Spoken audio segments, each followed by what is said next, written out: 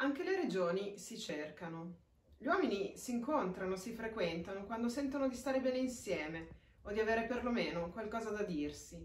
Questo processo viene avviato dall'istinto, dall'intuito, ma si solidifica solo quando interviene il raziocinio, a ratificare le ragioni di una scelta che rompe un isolamento e ne esclude altre di scelte. Non so bene quali siano i criteri di orientamento che promuovono l'alleanza tra istituzioni, regioni o stati ma se una convergenza tra contigui enti territoriali divisi da una frontiera si attua spontaneamente, allora credo di poter affermare che queste regioni non si identificano compiutamente con la nazione a cui appartengono, che permangono in esse stimoli di varia natura e residui di energia creativa da essere impiegati fuori dal contesto statale, dallo stesso ambito territoriale. In un confronto con qualche di diverso, di inesausto, permane pure nelle adiacenti zone d'oltreconfine.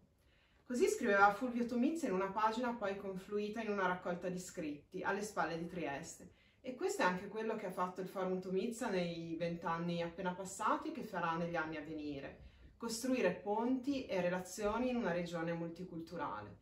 Quindi da parte mia un augurio che sia presto possibile rivedersi di persona.